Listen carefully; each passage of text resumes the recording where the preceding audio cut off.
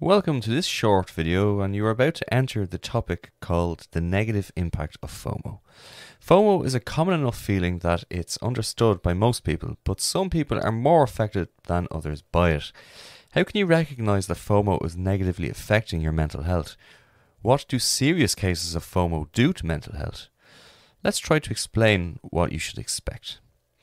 First sign that you are dealing with FOMO is that you can easily tell if your fear is taking a worrying course.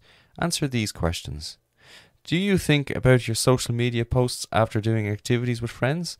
What, how, and on which channel will you post it?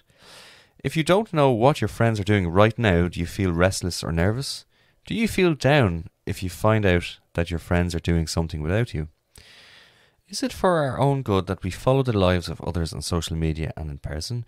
Why do we now want to experience the real world through a virtual window instead of going out into it? What are the negative effects of FOMO on mental health? Well, FOMO can also entail concrete physical and mental effects concentration problems, inner anxiety, stress, depressed mood, sleeping problems, headaches, sweating, etc. It's quite a serious matter.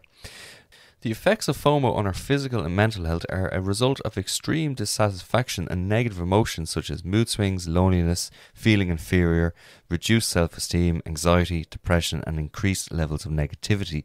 FOMO may be partly to blame for the increase in antidepressant use in recent years. From this video, you have a real idea of how badly the FOMO phenomenon is affecting us and what it does to our mental health. The feeling that we are not good enough or we are not popular is causing us a negative impact on our mental health.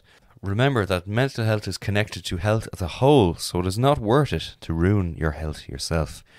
Thank you and well done on watching this video. The journey of learning about FOMO is a journey that can be followed in many ways. It is very important to protect you from FOMO and you have realized how negative the impacts can be in your mental health.